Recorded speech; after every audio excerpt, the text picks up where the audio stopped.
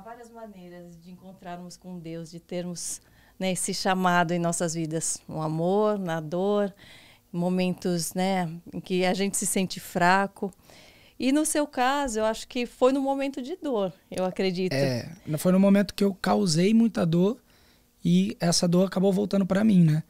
E foi um momento que a gente veio falando ali fora, né, sobre o ódio da internet. Recebi muito, muito, muito, muito mesmo.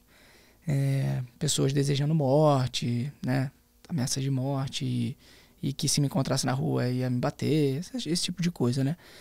É, mas hoje, se eu pudesse voltar no tempo, é óbvio que se eu pudesse não machucar uma outra pessoa, eu preferiria não machucar. Mas se eu pudesse voltar no tempo para não passar pelo que eu passei, para ter esse encontro com Deus, eu voltaria para passar de novo só para ter esse encontro, entendeu? É, foi um momento de muita, muita, muita dor mesmo, porque é o momento que a gente tem a oportunidade de se olhar. E você olha e você fala: não quero ser isso.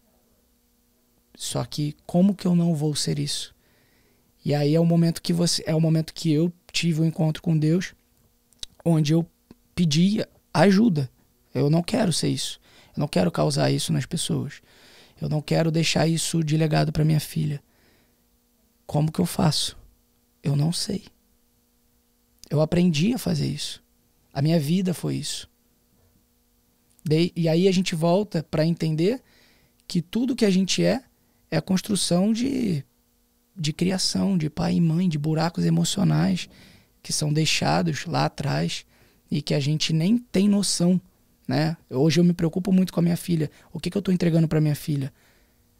Esse Será direcionamento, que... né, que muitas vezes a gente não tem no nosso convívio familiar ou no nosso convívio no nosso dia a dia com os nossos amigos, né? Eu acho que principalmente no mundo artístico, eu posso falar abertamente com você, a gente sabe que são poucos os que buscam né, o crescimento, a evolução espiritual, que porque realmente esse mundo de fama mexe com a vaidade, mexe com o ego e muitas vezes a gente quer conquistar e, e se sente num pedestal, se sente querido e amado por tanta gente que a gente esquece o real sentido da vida, né?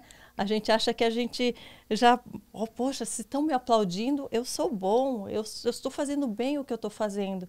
Só que aos olhos, aos olhos de Deus, muitas coisas estão sendo deixadas para trás, em coisas importantes. É, e não necessariamente a gente está é. vivendo o propósito, né? É. Eu, eu, eu tenho pensado muito sobre isso, né? Tá, tudo bem. É, de alguma forma, eu consegui atingir um número grande de pessoas né? Aquelas pessoas se interessaram por mim, por alguma coisa, gostaram do meu trabalho, começaram a me uhum. seguir. Hoje tem rede social, elas né, seguem. Mas por que, que elas fizeram isso? Tem que ter um propósito para isso. O que, que eu vou entregar para elas? Uhum. Tem que ter alguma coisa. Eu não posso só querer para mim, para mim, para mim, para mim. Ah, não, essas pessoas estão me seguindo. Se a gente for partir da, da do, do, sentido da palavra seguidor, cara, Jesus tinha seguidores. Uhum. Né? Não, não, que eu estou me comparando e nem que eu estou comparando as pessoas, mas se a gente Existe um porquê nisso, deles estarem ali, né? Existe um porquê de você ser uma vitrine para eles, para você passar algo de bom. O que, né? que a gente está passando? Eu acho que esse é o ponto. E eu vim conversando muito com, com a Lari, que, tá, que a gente está conversando para a gente fazer conteúdos para as minhas redes sociais. A gente vem conversando muito sobre isso, do tipo, tá, o que, que eu vou entregar para essas pessoas? Essas pessoas já estão ali. Que não pode ser só coisa uhum. superficial, coisa fútil.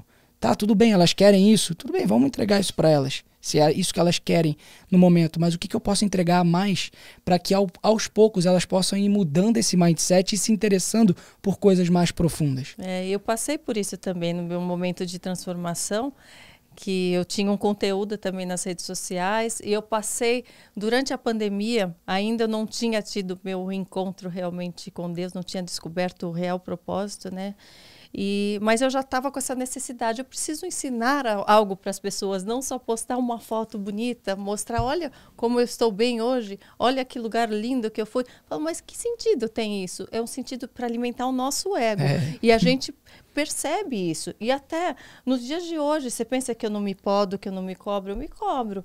Eu, às vezes, eu falo, poxa, as pessoas, hoje em dia que eu me cubro mais e tal, porque eu não me sinto mais à vontade, poxa, mas eu queria motivar as pessoas a terem uma vida saudável, a mostrar que eu não estou largada.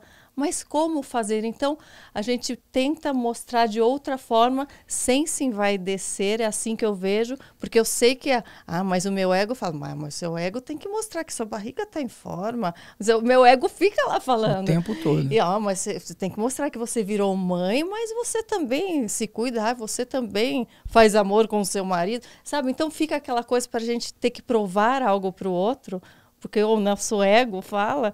Então, mesmo a gente entendendo o real propósito, a gente sendo convertido, tendo uma outra missão nessa vida com um propósito maior que a gente entende, a gente tem que se podar todos os dias. Eu me percebo assim, todos os momentos eu fico, isso é o meu ego que fala ou eu estou seguindo o meu propósito? Mas né? é porque é difícil, né? é muito difícil você conseguir é, permanecer firme o tempo inteiro, porque o mundo do lado de fora, ele está o tempo inteiro te trazendo situações, trazendo armadilhas. Uhum. E é isso. Aí, se a gente for parar para pensar, é, eu tenho 31 anos, né?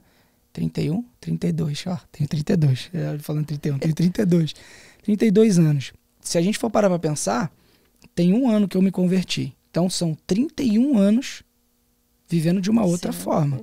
Então é natural que ao longo do processo você tenha momentos que você fala, hum, mas eu acho que o interessante é você se perceber, sim, que é o que eu fico fazendo sim, o tempo sim. inteiro. É. Cara, isso não tá legal. Esse sentimento aqui que, eu, que tá rolando dentro de mim não é de Deus uhum. isso aqui.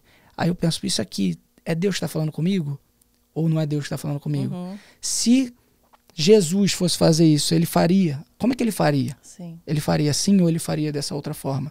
Então eu tento o tempo inteiro estar tá me colocando nas situações e não me colocando em situações também. Uhum. Então o tempo inteiro eu não me coloco nas situações. Eu vejo essa situação aqui é uma situação que eu hoje ainda não me sinto seguro de estar, uhum. tá, não vou. Uhum. Não vou me colocar nessa é, situação. Não, não vai estar à vontade naquele lugar. Lugares que você frequentava que você já não se sente mais à vontade. exatamente. Ou uma roupa que você poria que hoje você já não põe. Uma palavra que você. Ah, isso aqui eu falo na brincadeira, entendem. você já não consegue mais falar aquilo. É. Eu não sei, eu me sinto completamente diferente. A minha